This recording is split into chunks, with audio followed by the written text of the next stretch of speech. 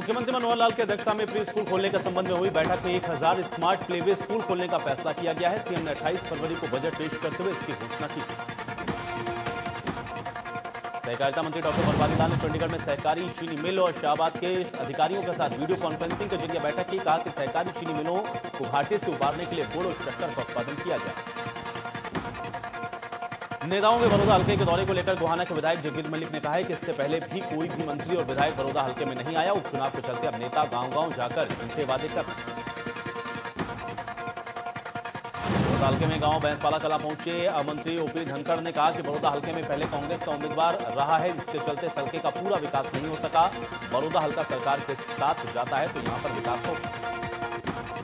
राजस्थान में सियासी उठापटक जारी है। हाईकोर्ट में कांग्रेस के बागी नेता सचिन पायलट की याचिका पर सुनवाई करते हुए सभी पक्षों की बहस खत्म हो गई है।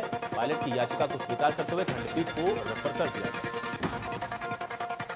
पूर्व कांग्रेस प्रदेश अध्यक्ष अशोक तंवर ने राजस्थान के हालात को लेकर के हरियाणा कांग्रेस पर निशाना साधा। अशोक तंवर ने कहा कि कांग्रेस में सब कुछ ठीक होता तो उन्हें पार्टी छोड़नी नहीं पड़ती। राजस्थान में हो रही उठापटक को बीजेपी सांसद संजय भाटिया ने कहा कि कांग्रेस को पहले अपना घर संभालना चाहिए। कांग्रेस में नेताओं के साथ भेदभाव किया जाता है। जो देश से प्रेम करता है, वो कांग्रेस से नहीं जुड़ता प्रदेश में कोरोना चौबीस हज़ार से ज़्यादा केस एक दिन में छह सौ छियानवे नए मामले आए। सामने एक दिन में कोरोना से तीन लोगों की मौत कुल तीन सौ बाईस लोगों की कोरोना से अब तक हो चुकी है। गुरुग्राम में 142 नए कोरोना के मामले आए सामने जबकि एक 120 मरीज़ ठीक होकर के हो चुके हैं डिस्चार्ज। अभी तक शहर में 7,350 कोरोना के पॉजिटिव कुल मामले आ चुके हैं सामने छह हज़ार एक सौ संतानवे ठीक हुए 110 लोगों की जा चुकी है करनाल में कोरोना के 22 नए मामले आए सामने, इसमें बैंक के कुछ कर्मचारी भी शामिल। कुछ मामले ट्रैवल हिस्ट्री से जुड़े तो कुछ केस कोरोना संक्रमितों के संपर्क में आए। ज़िले में कोरोना का आंकड़ा पाँच संस्था में शादी समारोह में 50 से ज़्यादा मेहमानों के शामिल होने पर सख्त कार्रवाई की जाएगी। जिला उपायुक्त ने अधिकारियों को हिदायत जारी की है। सभी मैरिज पैलेस और बैंकवेट हॉल के मालिकों को कड़े निर्देश दिए। तो क्षेत्र में कोविड नियमावली का उल्लंघन देखने को मिला है। सेक्टर सात के फिटनेस फ़र्स्ट जिम में रेड की गई है। इसमें सत्रह लड़के वर्कआउट करते हुए पाए गए। जिम मालिक के खिलाफ केस दर्ज किया गया। बिना मास्क वालों से चालान भी किए भिवानी में हटाए गए पीटीआई टीचर्स का धरना प्रदर्शन लगातार जारी है। अठारह जुलाई को सर्व खाप महापंचायत में फैसला लिया जाएगा। टीचर्स का कहना है कि जिस दिन से हटाया गया, उसी तारीख से बहाली होनी चाहिए। दतिया में पेपर रद्द करवाने की मांग को लेकर छात्रों ने प्रदर्शन किया। छात्रों ने आरोप लगाया कि उनकी ज़िंदगी के साथ सरकार खिलवाड़ कर रही है। सिर्फ़ खाना पूर्ति के लिए ऑनलाइन स्टडी का दिखावा किया गया।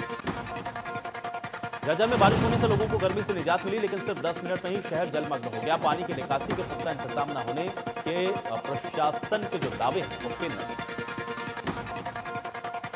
बिहार में सुशासन का दावा करने वाली नीतीश सरकार के दावों की पोल गोपालगंज में पुल का एक हिस्सा ढहने से खुल गई। एक महीने पहले ही सत्तर घाट महासेतु का उद्घाटन हुआ था। दो करोड़ की लागत का पानी में गुरुग्राम में सदर बाज़ार में दुकान सील करने के मामले पर बीजेपी विधायक सुधीर सिंगला का बयान सामने आया। उन्होंने कहा कि पचास हज़ार के जुर्माने को लेकर कारोबारियों को राहत दी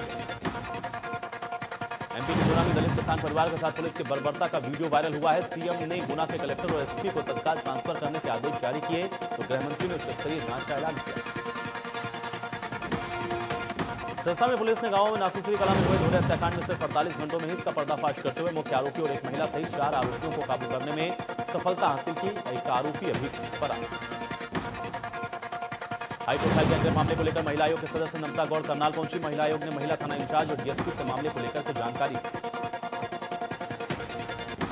हांसी में पुलिस ने एटीएम कार्ड चोरी करके हरियाणा, दिल्ली, राजस्थान, महाराष्ट्र में ठगी करने वाले युवक को गिरफ़्तार किया। आरोपी युवक अब तक लाखों रुपए की ठगी कर चुका पलवल में कोरोना संकट के बीच में सब्जियों के दाम तीन गुना तक बढ़ गए हैं। टमाटर, आलू, हरी सब्जियों के दाम आसमान को छू रहे हैं। टमाटर साठ से सत्तर रुपए प्रति किलो तो आलू तीस से चालीस रुपए प्रति किलो के हिसाब से बेचा जा रहा है। नागरिक उड्डयन मंत्री हरदीप सिंह पुरी ने बताया कि कोरोना संकट से पहले जितनी घरेलू उड़ानों का संचालन होता था, उसका पचपन से साठ फ़ीसदी तक उड़ानें दिवाली तक तो शुरू हो जाएँगी। वंदे भारत मिशन के तहत वापस लाए जा रहे हैं भारत। हरदीप सिंह पुरी ने बताया कि एयर इंडिया का निजीकरण ज़रूरी है और सरकार इस दिशा में काम कर रही है। विदाउट पे कर्मचारी को लीव पर सभी एयरलाइंस कंपनियाँ भेज रही हैं। सरकार उस स्थिति में नहीं है कि मदद कर सके केंद्रीय रेल मंत्री पीयूष गोयल ने बताया कि भारतीय रेलवे अगले साढ़े तीन साल में पूरी तरह से बिजली से चलने वाला रेल नेटवर्क बन जाएगा। 2024 तक रेलवे 100 फ़ीसदी बिजली से चलने वाला रेलवे नेटवर्क होगा, जो कि दुनिया का पहला इतना बड़ा रेल नेटवर्क होगा।